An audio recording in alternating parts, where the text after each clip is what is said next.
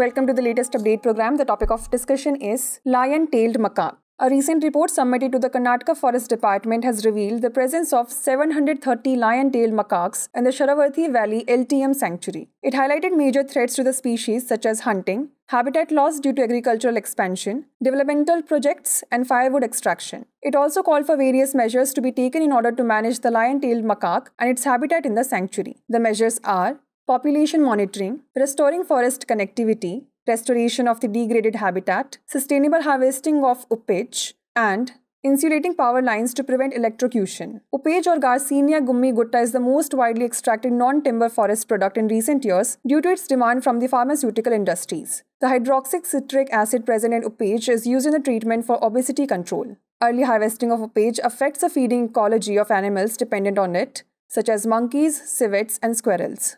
Let's now talk about lion-tailed macaque. Lion-tailed macaque is an endangered primate species endemic to the western Ghats of India. It is characterized by a distinctive light-colored mane around its head and chin and a long tough tail resembling a lion's. This arboreal diurnal primate spends most of its time in the upper canopy of tropical evergreen rainforest.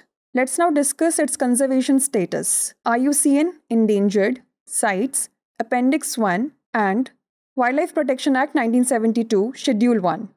Now it's the time to test your knowledge. The question is The lion tailed macaque is primarily found in which region of India? Eastern Ghats, Himalayas, Sundarbans, or Western Ghats? Send the answer to this question in the comment section. Thanks for watching.